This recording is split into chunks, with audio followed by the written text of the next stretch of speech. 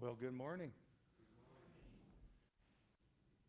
Happy Good Earth Day. Well, we're a couple of days late, but sometimes the calendar cooperates and sometimes it doesn't for Sunday. But welcome, one and all. And to our visitors today, welcome. Glad to see all of your faces today. We have a special worship service today, of course, Good Earth Day. Good Earth Day was officially Thursday, but we have a couple of days to get prepared for what we are going to have today. And I hate to tell you this, but um, you are all going to become parents again today because you are going to take home a new addition to your family. Uh, more about that a little bit later, but like your own children and grandchildren, you're going to need some nurturing skills to come back into play and some watering and some TLC. More about that later. A big welcome this morning to all of our folks watching on Facebook and Zoom. Glad that you're here this morning. Before we get started, as always, do we have any announcements that people would like to make? Anything going on in your life? Um, I know that we were collecting personal items for the food bank. Um, there is a basket out front, usually not for the, yes, for the food bank. You have some items that you still like to donate, please do so. Oh, big thing, I know Doris isn't here, but the garage sale's coming up. Coming up the first Thursday, Wednesday, Thursday and Friday? Thursday and Friday in May, 9 to 4 o'clock. In case you haven't gone back to Fellowship Hall, we're collecting stuff. So if you have stuff, good stuff, bring her on in.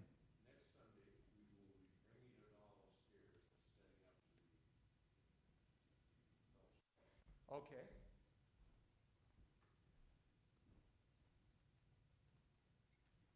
So next Sunday, be here so you can help with getting ready. And I know Doris has probably been contacting a lot of you about um, volunteering for this event. Of course, all the money goes toward the congregators and the various projects that we have here at the church. That's awesome. So, if there are no other announcements, uh, let's begin with a moment of silence to prepare ourselves for worship.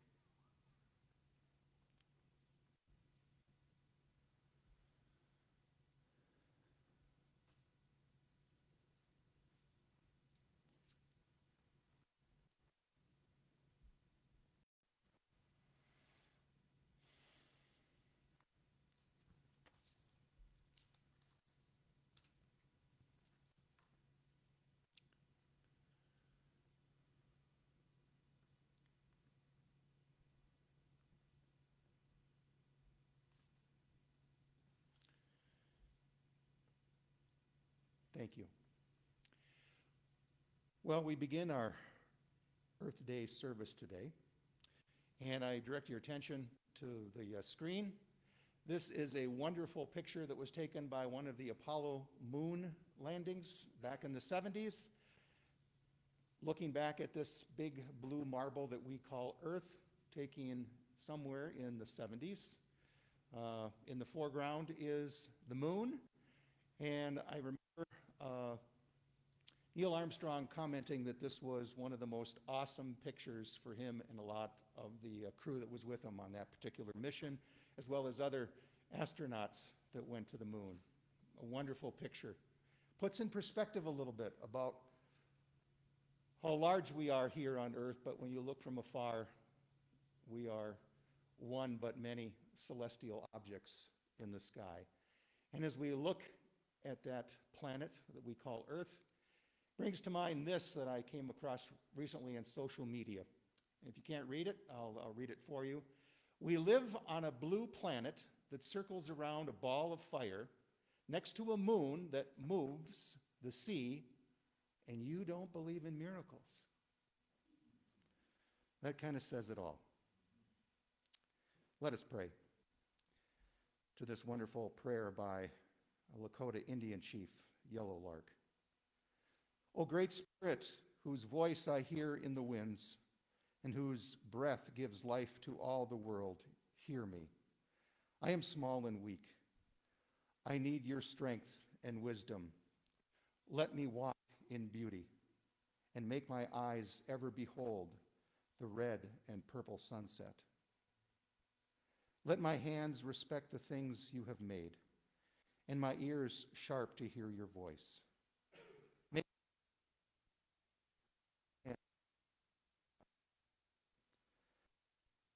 The lessons you have hidden in every leaf and rock. I seek strength, not to be greater than my brother, but to fight my greatest enemy, myself. Make me always ready to come to you with clean hands and straight eyes. Straight eyes. So when the life fades, and as the fading sunset appears, my spirit may come to you without shame. Amen.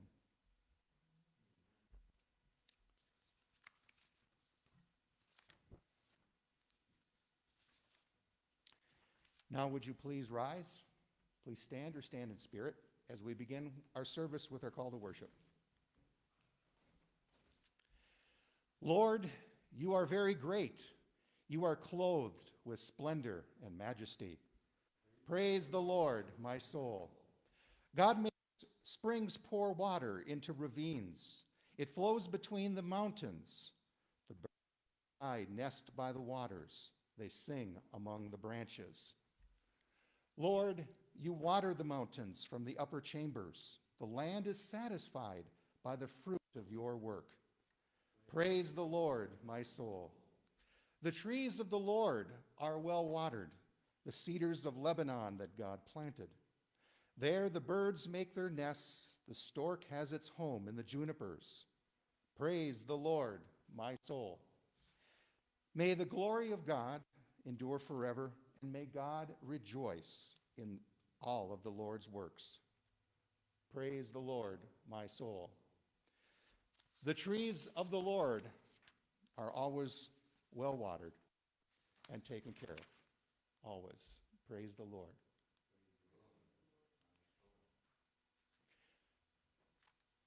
Now let's begin with our opening hymn. Ruth, are we familiar with this one? The fruit of all creation.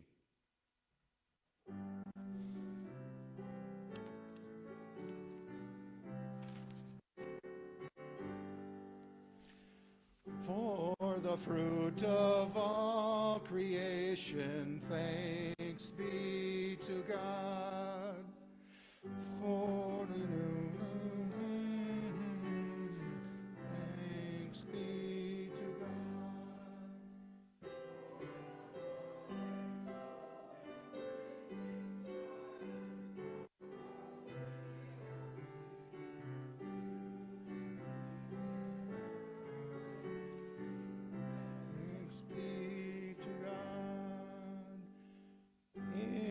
just reward of labor, God's will is done. In the help we give our neighbor, God will be done.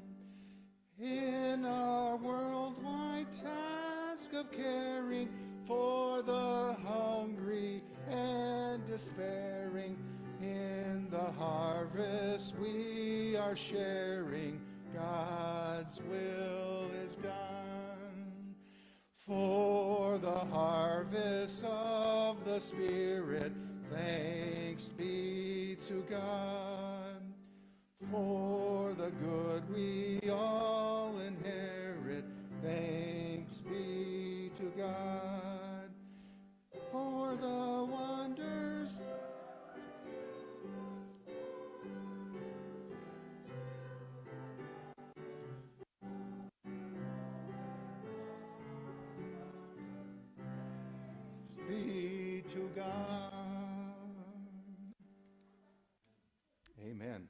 I like that one too, Blakely. As folks who have come here today haven't fallen short, let us continue on with our prayer of confession. O God, maker of heaven and earth, you place us in your creation and command us to care for it. Your works declare glory and splendor, and you call us to praise and reverence. Where we have degraded heaven and earth and destroyed earth's bounty, forgive us. Majesty for granted, have mercy on us. Where we have become estranged from the creatures with whom we share this planet, grant us your peace. Renew us in waters of baptism. Refresh us with the winds of your Spirit. Sustain us with the bread of life. In the name of Jesus and for the sake of the new creation, we pray. Amen. Please be seated.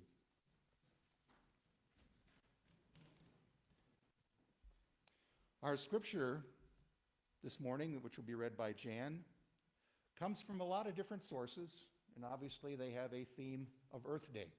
As you hear Jan read these words from the Bible this morning, meditate on them, think about them, and how they fit in with God's creation, which you are a part of.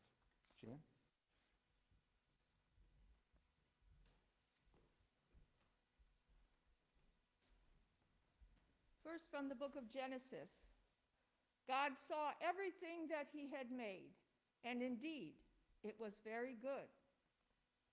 And God said, Let the earth put forth grass, herb yielding seed, and fruit trees bearing fruit after its kind. And it was so. Now the Lord God had planted a garden in the east, in Eden, and there he put the man he had formed.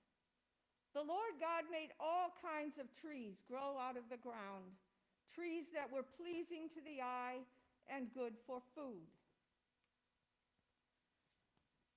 Joel said, Be glad, O land, and rejoice, for the Lord hath done great things.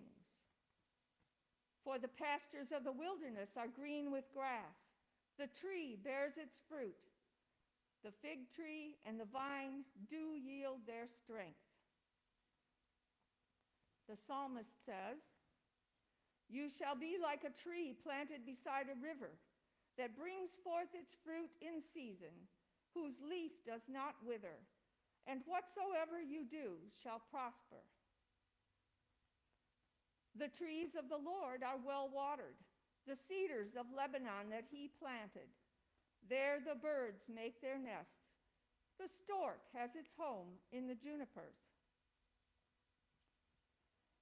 Jesus asked, What is the kingdom of God like? What shall I compare it to? It is like a mustard seed, which a man took and planted in his garden. It grew and became a tree, and the birds perched in its branches. Again he asked, what shall I compare the kingdom of God to? It is like yeast that a woman took and mixed into about 60 pounds of flour until it worked all through the dough. Jesus said he is the true vine and that his Father is the dresser of the garden. Let the trees of the forest sing. Let them sing for joy before the Lord.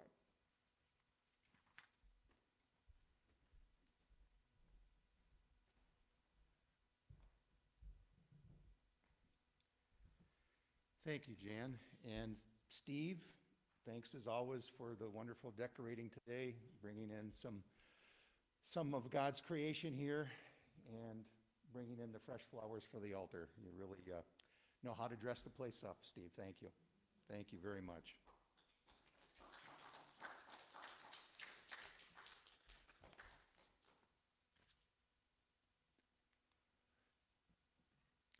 So here we are at Earth Day 2021. It's our third year of celebrating.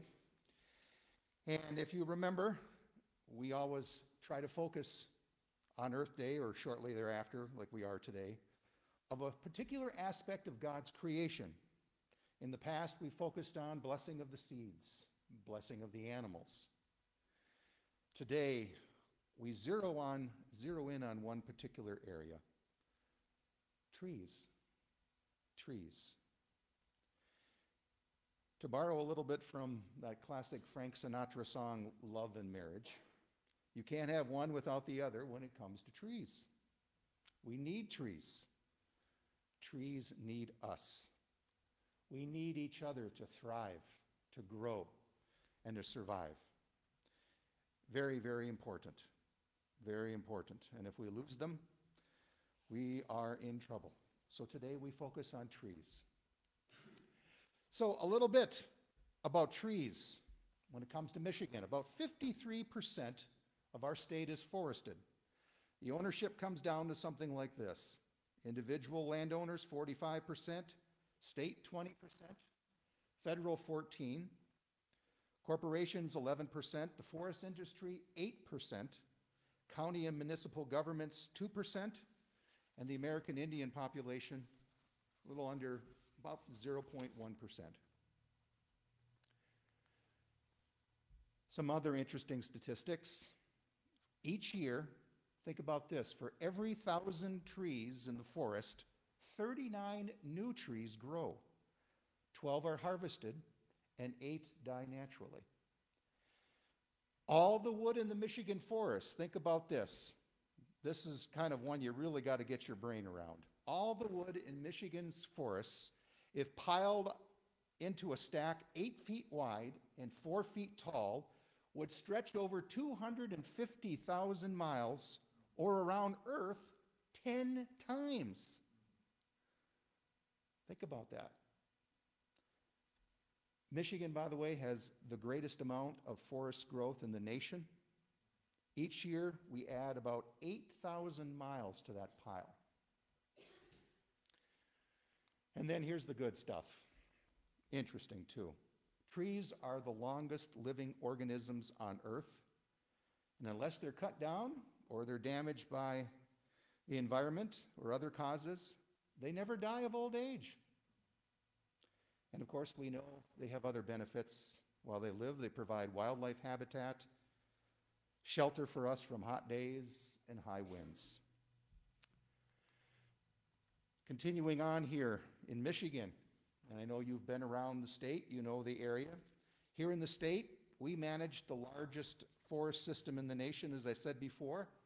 If you're a factoid person, that's about 2.8 million acres that the state manages. We have six, six state forests, and we also have two national forests. And so here is where we are at today. It's something that we're going to look on throughout a lot of part of our service. But it's a key point from Genesis 126. God said, Let us make mankind in our own image, in our own likeness, so that they may rule over the fish in the sea and the birds in the sky, over the livestock and all the wild animals, and over the creatures that move along the ground. As you think of that quote, think again about the trees that you saw today.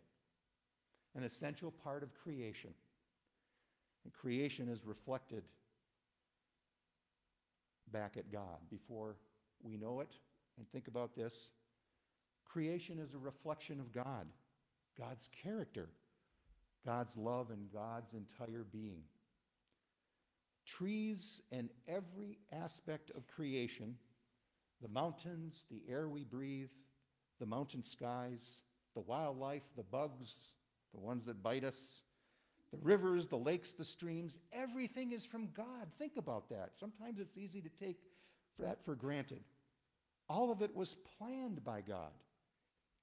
Here's the other thing that just blows me away many times. As you sit back on a nice day, maybe it's at the lake or you're walking in the forest and you see the bugs and the trees and the skies, think of this. They are all working together in unison for a purpose, working in relationship to one another. Think of this the bees, when they're not stinging you, they pollinate the flowers, the crops. They help grow our plants. That's their purpose in life, to pollinate. Without them, our food supply would be devastated. Or how about what we sometimes think as bats and opossums? We might think of them as nuisance. Bats flying around, opossums walking around. They eat bugs, the bugs we don't like.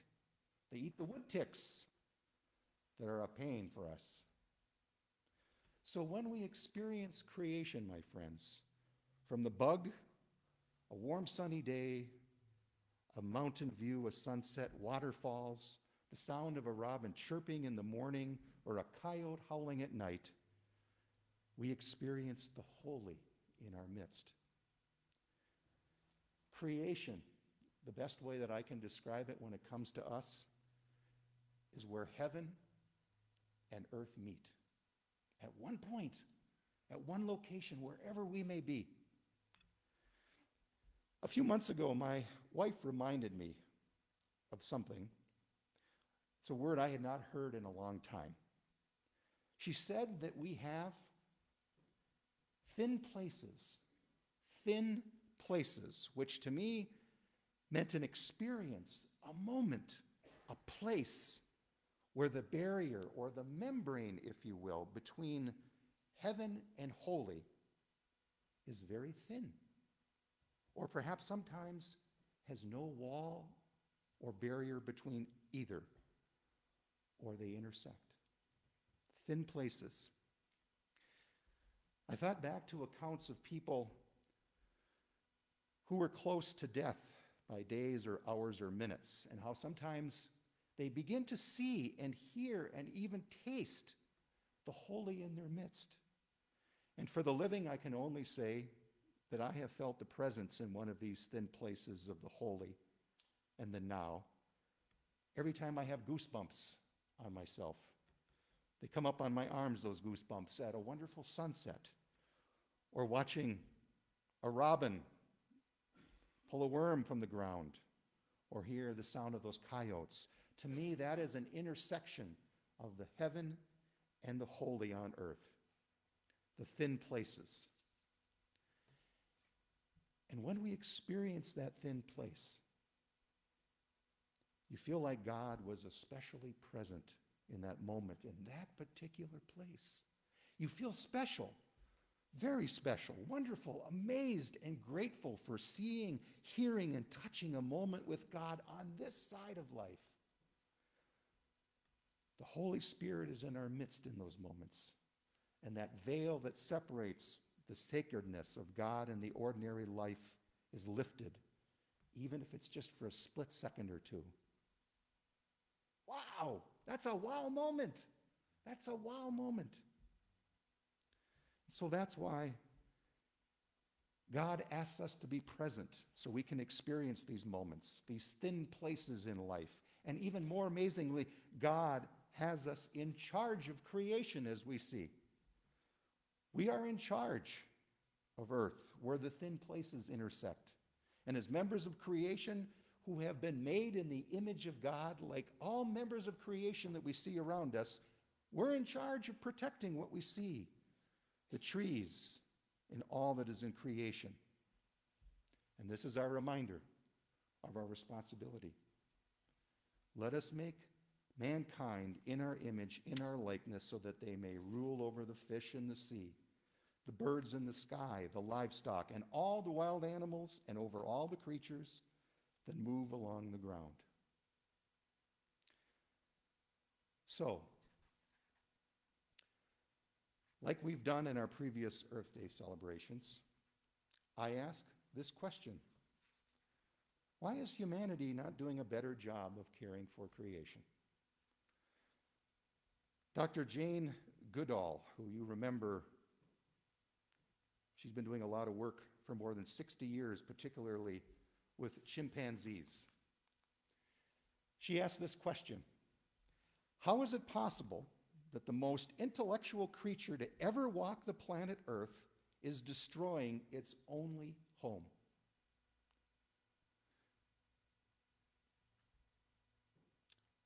By all signs, our planet is straining, or as Paul stated in Romans, the whole creation has been groaning as in the pains of childbirth right up to the present time. All because of humanity's activities that, is, that have caused problems in our world, our environment. And unfortunately, in too many cases, humanity has engaged in domination rather than careful domination of this earth that we have been given to oversee. Genesis 2 1 through 15 calls on humanity to till and keep creation. It also calls us to marvel and love creation, from the flowers and the trees and all creatures in creation. If you remember your seven day Sunday school narrative about Genesis, it talks about that. Genesis, if you read through it about creation and the stories there, does not inspire a spirit of superiority, a distant, a distance of domination or exploitation. In Genesis, the seven day narrative is inspired by, testifies to, and hopes to inspire a spirit immediately seized by divine love. I think you know this, but it bears worth repeating today that our earth is facing various and serious challenges that are worth highlighting. Those challenges start with the overall state of our planet today. Now, you can call the state of our Earth climate change, global warming, normal temperatures, climate hysteria, or whatever label you feel comfortable with. But regardless, something is happening to our planet, and it's not good. It's not good. And we should be alarmed as the ones in charge of our planet. Regardless of our opinions and our labels, we agree, we should agree, that caring for our planet is important. As Christians, just as Christians alone, we cannot ignore the prospect that the environment is being harmed by our industrial and consumer way of life. We've known that something's been happening to our Earth for years. Back in 2001, 2,500 scientists in the International Panel of Climate Change confirmed what many expected was happening. Humanity is contributing to a rapid change in our climate. And anyone, think about this. You walk into a greenhouse, you all have seen that, and you can understand the reality of what's happening to our planet, as the scientists pointed out. Think about this just as a greenhouse traps in heat, the greenhouse gases of our atmosphere trap in the heat that causes higher temperatures in our planet. Due in large part to our use of fossil fuels they're used in cars and to help generate our power. All of that traps in more heat. And the result is not only higher temperatures, but a change in weather. And of course, apart from that, human activities contribute. Methane, greenhouse gases are added by human activity. Gases like methane, nitrogen dioxide, and synthetic chemicals. Now, though the amount of these chemicals is much less than CO2, they still absorb more heat than CO2 and add significantly to the problem we face. So, whether you believe what's happening right now is normal or not, here's what many believe has and continues to occur that is not normal and are some of our Earth Day challenges to note. Higher temperatures are leading to melting ice caps and subsequently rising water levels. Many communities located on our oceans are preparing for rising water levels. The city of Miami, which has always, for example, been vulnerable to hurricanes and flooding, they've recognized what's going on, the higher temperatures. Miami is taking steps toward implementing many different actions and proposals to address these rising water levels, storm sewer overflow and backup. Another challenge for Earth Day extreme weather, sudden storms, fierce tornadoes, severe and more frequent flooding, long periods of prolonged heat. And of course, as we know so well from being around here, there's an impact on farming. Our farmers are all too familiar with what's going on. They are on the front line, think about that. Extreme weather can damage crops and limit the ability of natural systems to adopt. It goes without saying that a drop in food production is not an option if we are to feed all of humanity. Extreme heat has also dried up water supplies. And of course, clean, accessible water is something we all need. And then the result of the extreme periods of heat, we have wildlife in many areas of the world migrating to different places. And with rising temperatures, insects and rodents are moving into different areas. I remember last summer reading a story from uh, the MSU Extension Office how wood ticks are going farther and farther north, where before cold climates would wipe them out. Those cold climates, like for example the UP, are seeing more wood ticks than before. To put it all in perspective, scientists have estimated that greenhouse gas emissions must be reduced by at least 60% to stabilize their concentrations in the atmosphere. Another Earth Day challenge deforestation. In particular, I focus today, I don't know if any of you have ever visited the Amazon rainforest, but in the Amazon we have deforestation going on. And you might say, well, why should I care? Why should I care with what's going on in the Amazon rainforest? Well, the rainforest is the largest in the world, and it res- represents, think about this, the Amazon rainforest represents over half of the Earth's rainforests, and it has the most biodiverse tract of tropical rainforest and habitat in the world. The Amazon rainforest, my friends, is slowly being deforested, primarily by two causes. The cattle sector, of course, for food, but for the leather trades. 80% of all deforestation in the Amazon rainforest has resulted from these two causes. In the latest statistics are hard to come by, but as far back as 2017, it's been estimated that about 3,050 square miles of the forest was destroyed just in one year. Expanding agriculture is also encroaching on the rainforest, and it's been suggested at some point that rainforest will reach a tipping point where it will no longer be able to produce enough rainfall to sustain itself. So rainforests are important not only to the people in that area and the indigenous Native Indian population and the people, but the rainforest, my friends, plays a crucial role in the world ecosystem because those trees, like the trees in our own backyard, absorb heat, give out oxygen.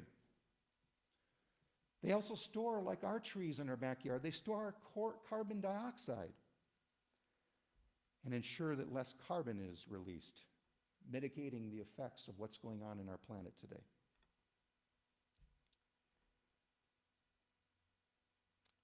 I only hit on just a couple of the key points, the key threats that are facing our planet on this Earth Day. There are many more.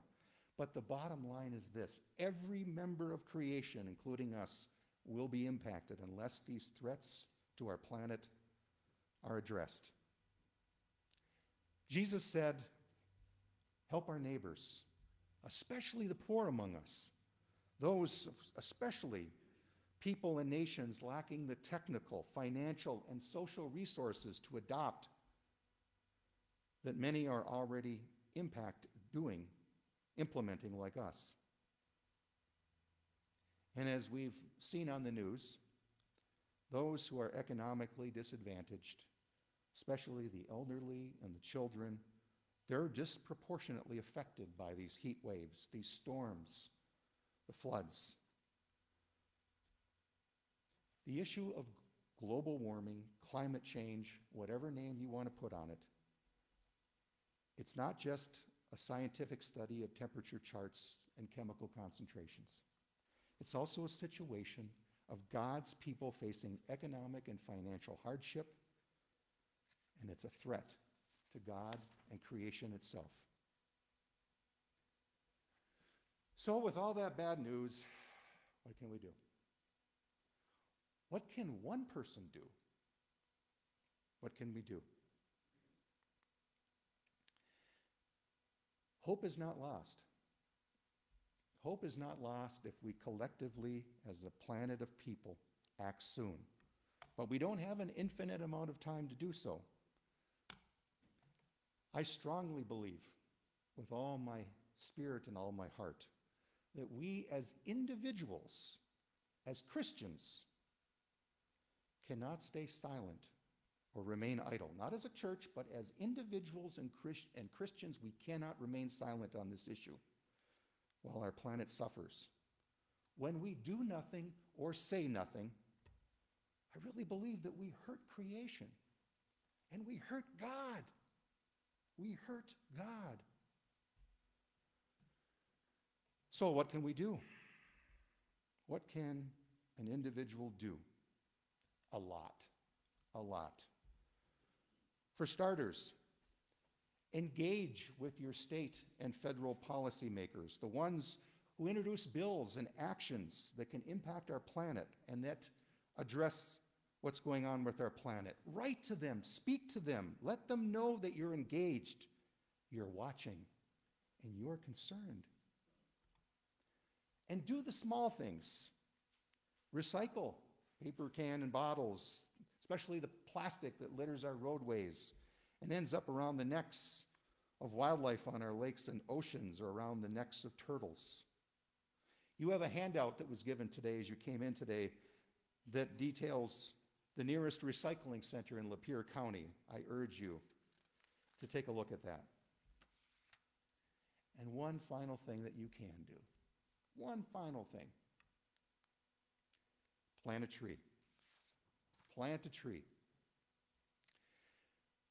Trees, if you remember minutes ago we talked about with what's happening with our planet, they reduce the effect of what's going on with our planet.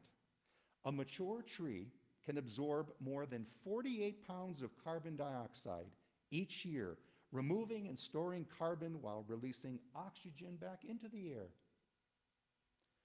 And here's one, and Blakely knows this. One large tree can provide a day's supply of oxygen for up to four people. A mature tree, of course, but think about that. Trees have other benefits that help the planet. They offer us personal benefits, benefits that perhaps you haven't really thought about. The denser a forest, scientists have found when we walk in those dense forests, it lowers our stress. Walk down a tree lined street sometime in Imlay City. Concentrate on that. Did you know, too, that trees release a chemical? I'm going to slaughter the name phytonicides. Somebody have a better term? I'm up for it. They re- release a chemical. And when we breathe in this chemical, it can reduce our blood pressure, lower our anxiety levels, increase our pain threshold. Trees. The trees need us for protection, and we need them. We need them for protection from the heat, the wind, and for our health, and in order to offer our children and our grandchildren a bright future, my friends. God asks, what are we saying and doing for creation as individual people and as Christians? One person can make a difference. Many people together can do even greater things for Mother Earth. The time to act is now for the sake of our planet, our trees, and ourselves. Amen.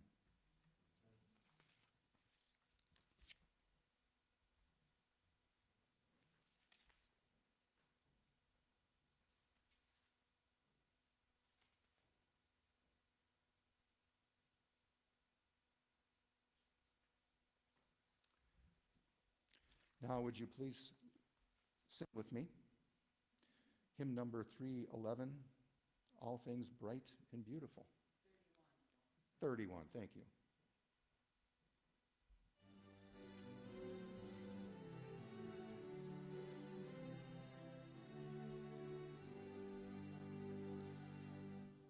All things bright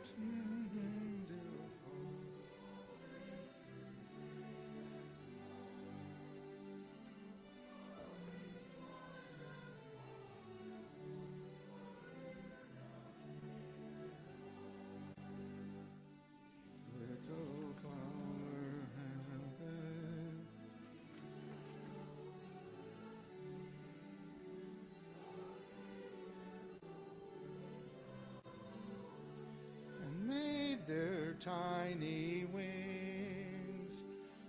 All things bright and beautiful, all creatures great and small. All things wise and wonderful, our dear God made them all. The purple headed mountain, the river the sunsets and the morning sky that brightens up the sky.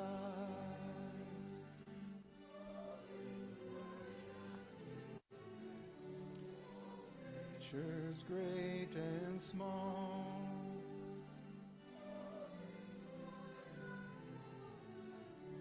Our dear God made them all. Cold wind in the winter, the pleasant summer sun, the ripe fruits in the garden,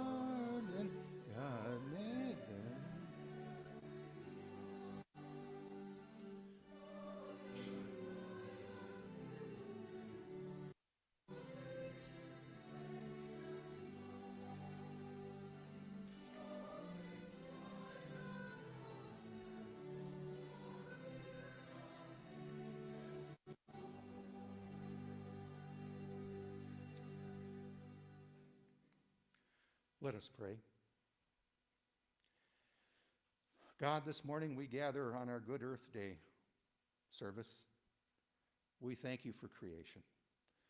We thank you for all that it has and continue to provide us, for our families, for people around us, for our children and our grandchildren. On this day in particular, we ask you to embolden us even further as individuals to care for creation, this wonderful place we call Earth that you have left us in charge of. Help us to see your vision and empower us to do your work with the help of the Holy Spirit. And Lord, we thank you this morning for all the one small, big, and large work that we do as individuals to help this planet. And we praise those that create the policies and implement them to protect the earth in ways that we have no idea or understand.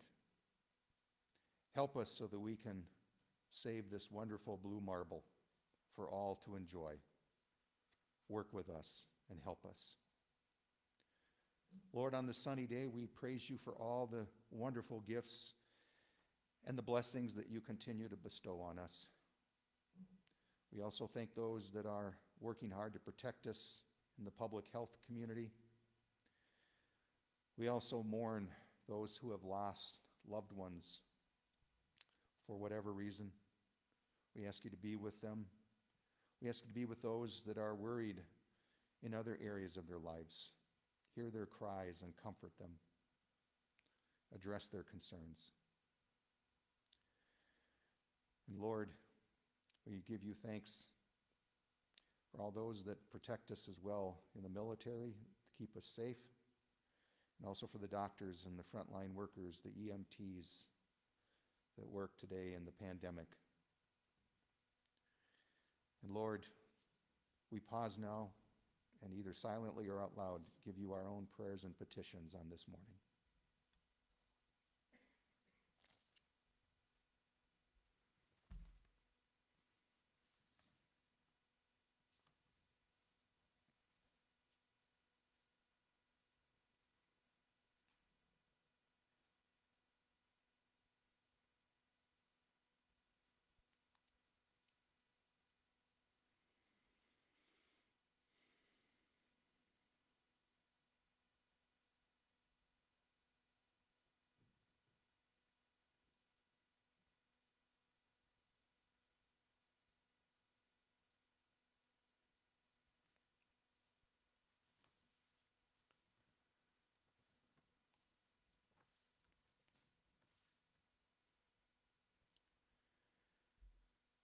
Lord, we thank you for hearing our prayer.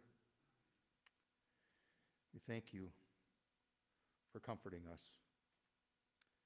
And as we look out today outside the walls of the sanctuary, again we marvel at your creation of how you weave together the intricate and the easy for a tapestry of life.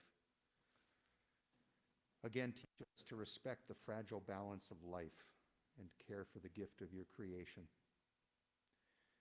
For you have called us to tend and keep the garden of your creation. Again, give us wisdom and reverence for all the trees and the plants and the animals who share this planet with us. And help us to remember that they too love the sweetness of life and join with us in giving you praise.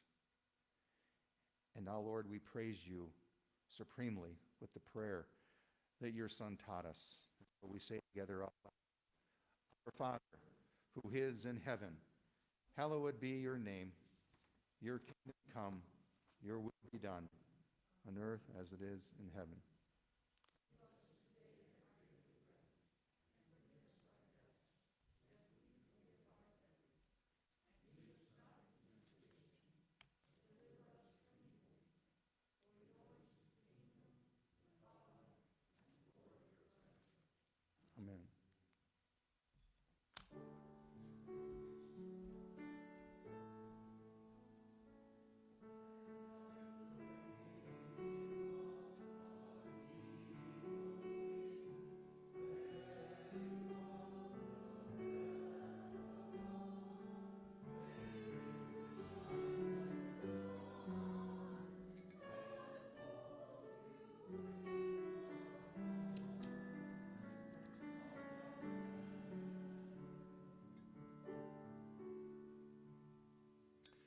This offering prayer I offer up today on behalf of us all.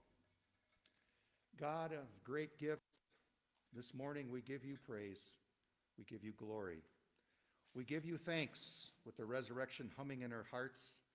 Our minds are tuned to your song of peace and your creation. Lord, we joyfully present these gifts to you a tangible chorus of thanksgiving, a harmony of hope for your kingdom to come. Amen.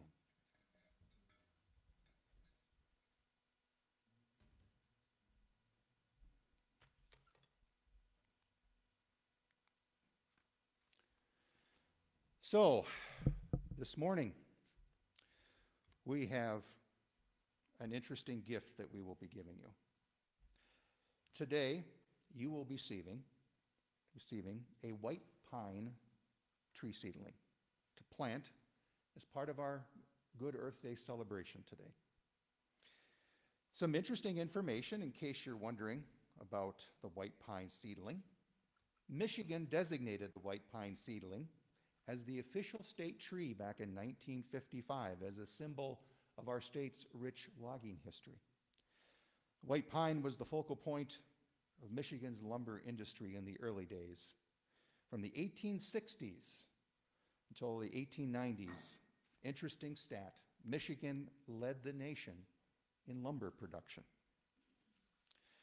And so today, as a sign of our commitment to caring for the trees of God's creation, you're going to have the opportunity to plant one of these white pine seedlings that we have here on our communion table. Each of you is going to get one today. Jesus reminded us that a mustard seed can grow into something much bigger. Seeds, and these seedlings in particular, speak of hope, of an investment in the future.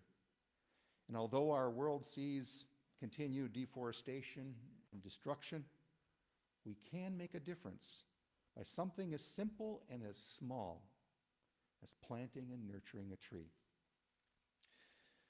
Wangari Maathai, a Nobel Prize winning Kenyan who inspired planting millions of trees, said Christ was crucified on the cross.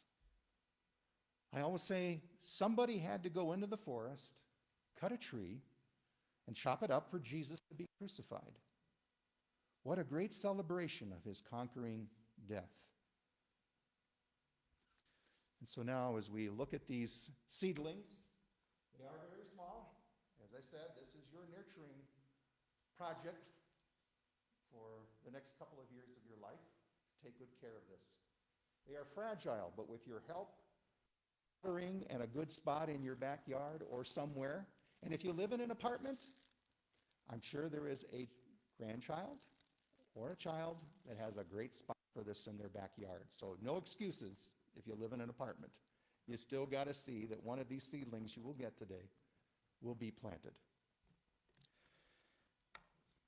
And so, as we look at this seedling, I offer this blessing for all of our seedlings today. Let us commit ourselves to thanksgiving for God's gift of trees and to growing these seedlings in creation.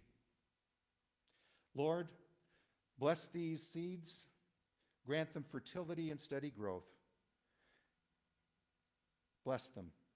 May they be signs of your kingdom, a kingdom which starts with the small and the weak, but grows in secret, and one day will fill the whole of creation. Lord, may these seedlings, these saplings, if you will, grow to have deep roots and spreading branches, and may they bear wonderful arms, wonderful roots, wonderful leaves and branches.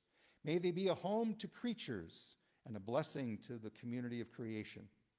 And may we remember to care for them, to water and tend them, and may they teach us about our dependence on trees and on you. Creator God, you planted in Eden a garden and placed us within this garden to serve and preserve it. Lord, forgive us when we have turned the beauty and the wonderful nature of creation into infertile deserts. Within us once again the seeds of our calling to be good stewards of this created world. And finally, God, may we know our dependence upon you and upon creation. And through our work, praise once more we give to you. Through Jesus Christ our Lord, who reigns with you in the Holy Spirit, one God and forever. Amen.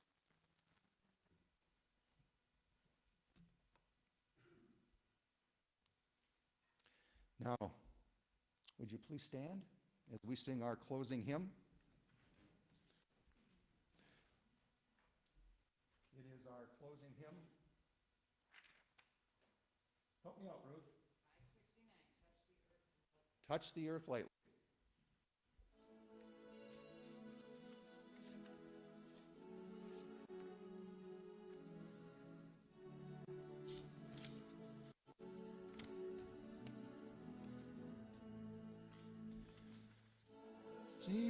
Lightly, use the earth gently, nourish the life of the in our care.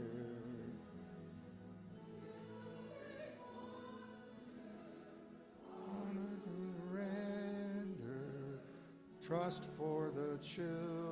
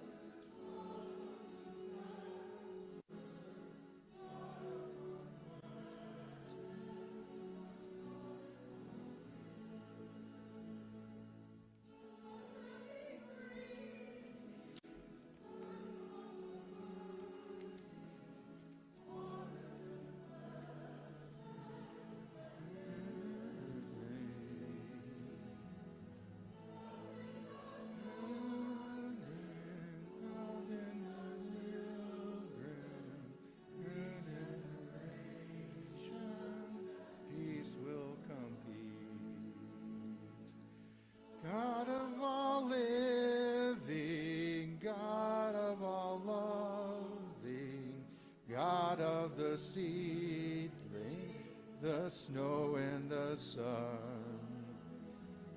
Teach us deflect us, direct us, using us gently and making us one. The slide that you see here was taken by myself on the top of Sugarloaf Mountain in the Upper Peninsula of Michigan, one of the more grandest view of trees that are part of creation that I can think about. Before I send you off on our day and to enjoy Earth Day and to give you my benediction, following the benediction, I'd like you to do two things. I would like you to come up here, take a seedling, and take a handout that will show you how to plant your seedling and give you some more statistics to go with what you have in your hand flyer that I think was given out to everybody. And then, in about 10 minutes, uh, for those of you who could please stay, and I hope you'll all stay, I would love for our newsletter, for our Facebook page, I would love to take a picture of us distanced out a little bit, outside in the courtyard in 15 minutes with our seedlings. I would invite one and all to, to do that, get a little fresh air, it's getting warmer, and enjoy, I guess, what I would call a nurturing party to get ready to plant these trees that will be with us long after we leave this earth. And so now, my friends, may the Word of God take root in your heart, grow strongly in your life, and bear much fruit for God's kingdom. And may the blessing of God Almighty, Father, Son, and Holy Spirit be with you now and with all of God's creation forever and evermore. Amen.